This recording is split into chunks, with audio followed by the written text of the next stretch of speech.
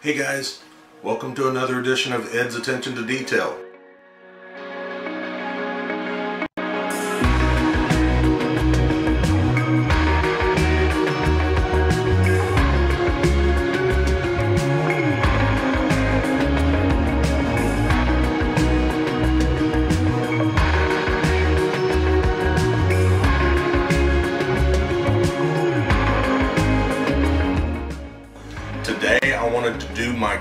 Build entry video for the Finish It in February group build. Now this group build is actually hosted by Charlie Mac and as I understand co-hosted by Tim over at Throttle Power. Um, if I'm incorrect about that, let me know. But uh, anyway, thanks guys for hosting this build and uh, yeah, you kind of got me thinking. F3D2 Skyknight uh, a rare aircraft in its own. I went and did just a little bit of research yesterday uh, before I decided to do this video. And the Skyknight, they only made like 280 of them total. But anyway, um, this aircraft was mainly used as a night fighter in, uh, in, in Korea. Uh, we're talking about, you know, the 1950s. This is shortly after World War II. Very early jet engine technology. And uh, yeah, you can kind of look at the aircraft and tell that that uh, still straight winged. Um, it's not very far removed from propeller-driven era. So I picked this kit up at Hobbytown, USA in Kennesaw, Georgia, probably like three or four years ago. I saw it, and uh, of course, most of my builds are 148 Navy aircraft. That's the collection that I am trying to build. And I was like, man, this fits perfect. It's a rare aircraft. I, I, I want it. So yeah, I picked it up. Um, Squadron Productions. Never really heard of them. Uh, it says it's a limited edition kit. I believe that too because I hadn't seen it ever since. Once I got into the kit, I kind of realized why I, I haven't seen this thing around very long or very often. So let's take a look. And this is one reason why this kit has been sitting for so long.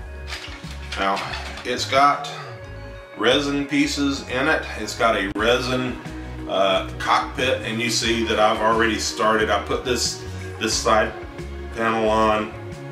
There's another one that'll go on the other side, and I decided to leave that off until I get painting done. But so it's a resin, and there's other resin pieces, which I don't even know what this is. I would have to go into the uh, the instructions. The main wing wheel wells are resin, and they did not want to fit inside of this wing. Man, it took forever to try and sand everything down and test fit and get it right. And there are no alignment uh, pins or anything on these wing halves to try and align that those resin pieces in there. There were no alignment pins to put the two halves of the wing together. In fact, you can see on this wing where I've started to putty it, it actually had some some mold imperfections on the top of the wing. And I was like, man, I said, just for, for as much as I paid for this kit, I was like, dang, this thing is, is, you know, not a very great kit. I have gotten the engine, I, am gonna call that a fairing, uh, for lack of better terms, but that's where the engine mounts. It, it'll actually be on the bottom of the fuselage underneath where the wing goes.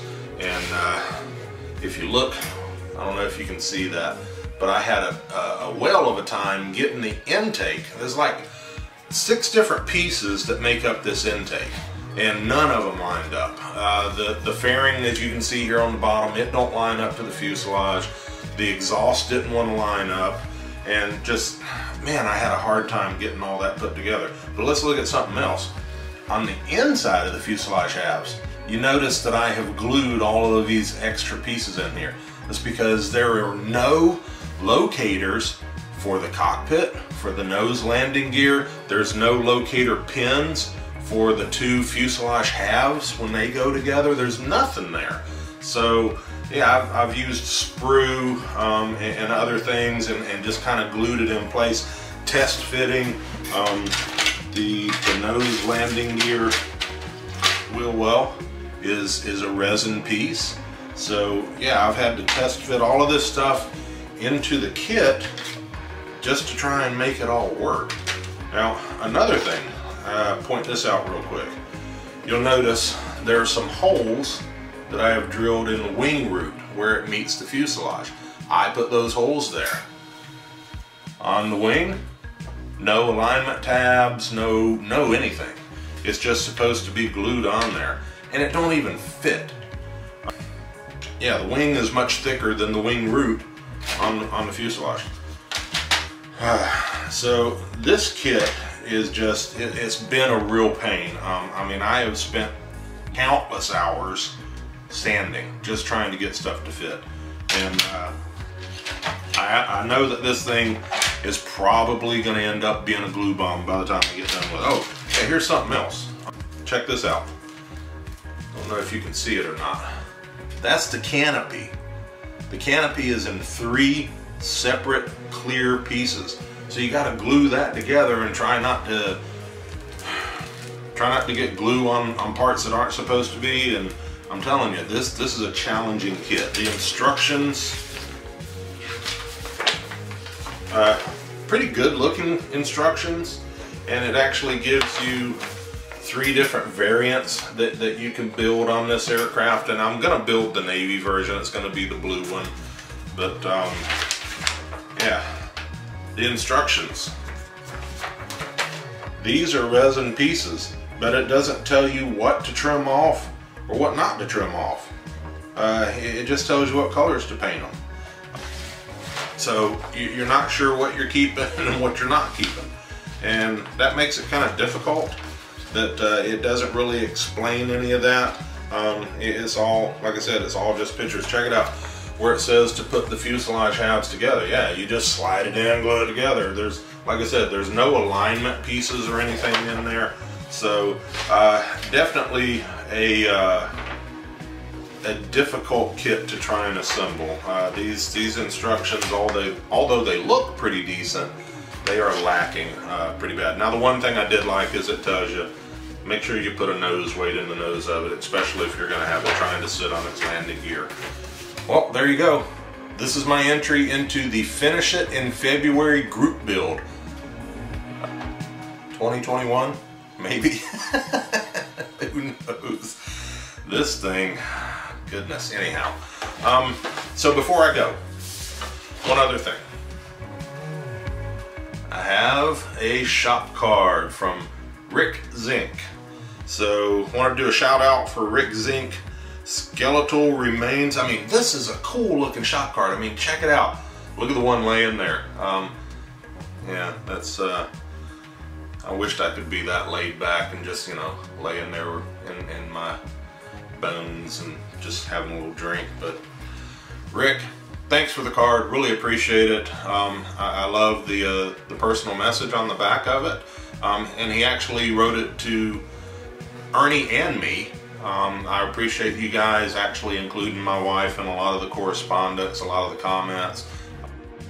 You know, my wife and I, uh, we we both appreciate that very much. Uh, so anyhow, I'm going to leave a link for Rick's channel in the description, as well as a link to Charlie Mac, Tim at Throttle Power, and uh, and to Ernie, uh, in case you guys want to go over and uh, and check out her channel as well.